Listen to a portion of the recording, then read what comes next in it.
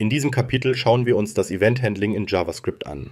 Die einfachste Art des Event Handling ist es, die JavaScript-Funktion über das OnClick-Attribut, beispielsweise eines HTML-Buttons, einzubinden. Weitere mögliche Ereignisse sind beispielsweise OnLoad oder OnMouseOver. In diesem Code wird bei einem Klick auf den Button die JavaScript-Funktion OnClick-Händler aufgerufen. Diese Attribute sollen aber nach heutigem Stand nicht mehr verwendet werden. Christian Heilmann entwickelte den Begriff Unobtrusive JavaScript, also unaufdringliches oder auch barrierefreies JavaScript. Die Interaktivität soll stattdessen dem Dokument automatisch hinzugefügt werden. Im HTML-Code sollte sich also kein JavaScript in Form von Event-Händler-Attributen befinden, sondern beim Laden des Dokuments sollten die Skripte automatisch starten und die Ereignisüberwachung an den betreffenden Elementen übernehmen. Im Idealfall sollte im Head-Element das ein oder andere Script-Element stehen, um eine externe JavaScript-Datei einzubinden, die dann ihrerseits aktiv wird und die Event-Händler an die jeweiligen Elemente anbringt. Dazu können Elemente, denen ein bestimmtes Verhalten hinzugefügt werden soll, zum Beispiel mit einer Klasse markiert oder bei Bedarf mit einer ID ausgezeichnet werden. Mischen Sie also kein JavaScript mit HTML. Hängen Sie stattdessen Eventhändler dynamisch an HTML-Elemente an. Trennen Sie auch CSS-Anweisungen von JavaScript-Code. Definieren Sie die Formatierungsregeln in einem zentralen Style-Sheet, nicht im JavaScript.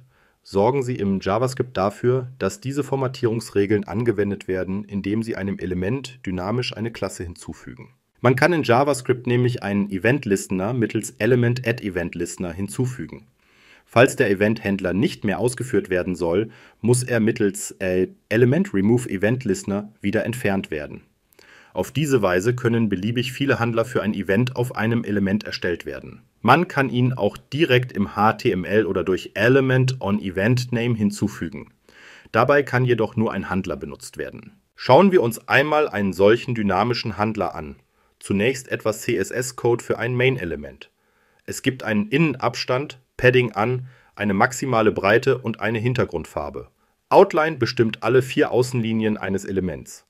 Im Unterschied zu Border wird die Outline nicht als Teil des Boxmodells zur Elementgröße hinzugerechnet, sondern als letzter Schritt draufgemalt, ohne Platz wegzunehmen. Hier sehen wir nun den HTML-Body, der kein JavaScript mehr enthält. Es gibt eine Überschrift und dieses Main-Element. Dies wiederum besteht aus einem Absatz, einem Button ohne Funktion sowie über einen noch versteckten Absatz mit der ID Message. Nun kommt der JavaScript-Code. Das Hinzufügen der Event-Listener erfolgt erst dann, wenn der gesamte DOM-Baum geladen ist. Dies ist nötig, da die HTML-Elemente existieren müssen, auf die der Event-Listener angewendet wird. Auf diese Weise kann der Code des Event-Listeners auch oben im HTML-Head in einem Script-Tag problemlos eingebaut werden in der anonymen Funktion wird dann der Button ermittelt und das Click-Event gewählt. Es wird angegeben, dass bei einem Klick auf den Button die Funktion Händler for Button ausgeführt wird. Diese wiederum sucht im DOM-Baum, nachdem der Button geklickt wurde, das Main-Element und fügt diesem dann einen Klickhandler hinzu. Wenn man dann auf das Main-Element klickt, wird die Funktion Händler for Main ausgeführt diese wiederum sucht im DOM-Baum die ID des versteckten Absatzes und macht diesen Absatz sichtbar. Probieren Sie es aus. Schauen wir noch etwas genauer darauf, wie das Event Handling funktioniert. Dabei sind die Begriffe Capture und Bubbling wichtig. Ein DOM-Event kann ein Mausklick, das Betätigen einer Taste oder ähnliches sein. Man kann für jedes Element ein oder mehrere Event-Händler definieren. Diese werden ausgeführt, falls das Event auftritt. Ein vom Browser ausgelöstes Event zum Beispiel ein Buttonklick, wandert von Window zu dem Element, das das Event ausgelöst hat. Anschließend wandert das Event zurück zu Window. Die erste Phase nennt man Capture, die anderen Bubbling. Bei jedem Schritt dieser Wanderung werden die Eventhandler des aktuellen Elements aufgerufen. Die Wanderung kann durch eine API unterbrochen werden. Das nun folgende Beispiel demonstriert, wie Events bei Auslösung wandern Sehen Sie sich die folgenden Screenshots an und programmieren Sie das Beispiel mit dem hier zur Verfügung gestellten Code nach. Versuchen Sie den Code nachzuvollziehen.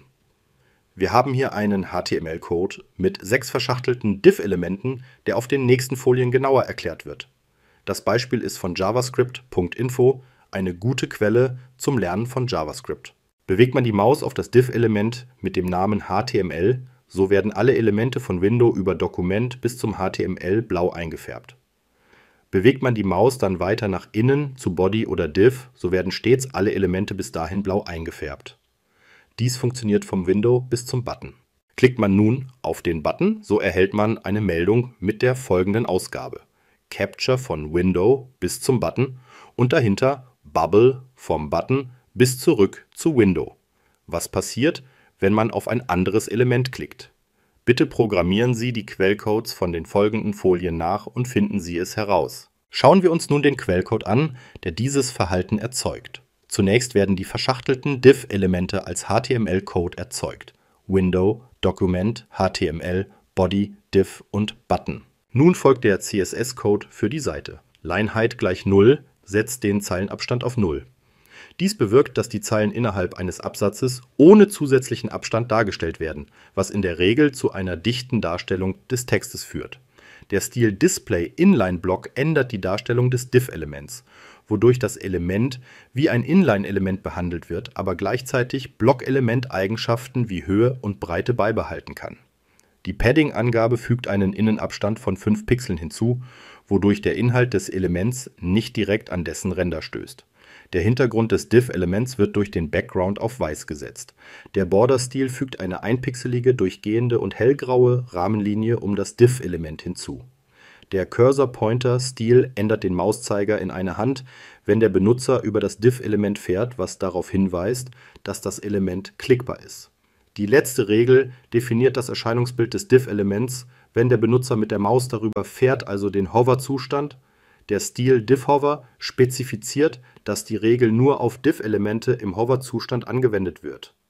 Der Border-Stil ändert die Rahmenlinie auf eine einpixelige, durchgehende und hellrote Linie, wenn das Div-Element gehoft wird. Der Hintergrund des Div-Elements ändert sich durch Background in ein helles Blau, wenn der Benutzer darüber fährt dieser JavaScript-Quellcode definiert mehrere Variablen und Funktionen, die zusammenarbeiten, um Ereignisse von Diff-Elementen auf einer Webseite zu erfassen und zu protokollieren. Die Hauptfunktionen des Codes sind die Erfassung von Klickereignissen auf Diff-Elementen, die Unterscheidung zwischen Capture und Bubble-Phasen von Ereignissen und das Sammeln und Anzeigen von Nachrichten. Der Code beginnt mit der Deklaration zweier globaler Variablen, Storage und Flag die Variable Storage ist ein leerer String, der zum Speichern von Protokollnachrichten verwendet wird, während Flag ein booleischer Wert ist, der zur Steuerung der Protokollierung dient und initial auf True gesetzt wird. Die Log-Funktion nimmt eine Nachricht als Parameter entgegen und fügt diese Nachricht zusammen mit einem Zeilenumbruch an die Storage-Variable an. Wenn das Flag auf True gesetzt ist, wird es auf False gesetzt und ein Timeout von 500 Millisekunden gestartet nach Ablauf des Timeouts wird ein Alert-Fenster mit dem Inhalt von Storage angezeigt, Flag wird wieder auf True gesetzt und Storage wird geleert. Die Capture-Funktion protokolliert eine Nachricht, die angibt, dass ein Capture-Ereignis aufgetreten ist, zusammen mit dem Textinhalt des ersten Kindknotens des Elements, auf dem das Ereignis ausgelöst wurde. Diese Nachricht wird durch Aufrufen der Log-Funktion mit dem String beginnend mit Capture erzeugt die Bubble-Funktion arbeitet ähnlich wie die Capture-Funktion, protokolliert jedoch eine Nachricht, die ein Bubble-Ereignis angibt, ebenfalls mit dem Textinhalt des ersten Kindknotens des betroffenen Elements. Dies erfolgt durch Aufrufen der Log-Funktion mit dem String beginnend mit Bubble erzeugt. Anschließend wird eine Liste aller diff-Elemente auf der Seite abgerufen und als Array in der Variablen diffs gespeichert. Eine Schleife iteriert über alle gefundenen diff-Elemente und fügt jedem Diff-Element zwei Ereignis-Listner hinzu. Der erste Listner wird für das Click-Ereignis im Capture-Modus (True als dritter Parameter) hinzugefügt und ruft die Capture-Funktion auf. Der zweite Listner wird ebenfalls für das Click-Ereignis, jedoch im Bubble-Modus (False als dritter Parameter) hinzugefügt und ruft die Bubble-Funktion auf. Und mit diesem HTML, CSS und JavaScript-Code erhalten Sie das Verhalten, wie es beschrieben wurde das Ereignis wird von oben nach unten bis zum auslösenden Element (hier der Button) durchgereicht, was man als Capture bezeichnet. Nach der Verarbeitung wird das Ereignis wieder bis nach oben zurückgereicht, was man als Bubbling bezeichnet. Das Verhalten ist nochmals hinter dem Link von javascript.info genauer beschrieben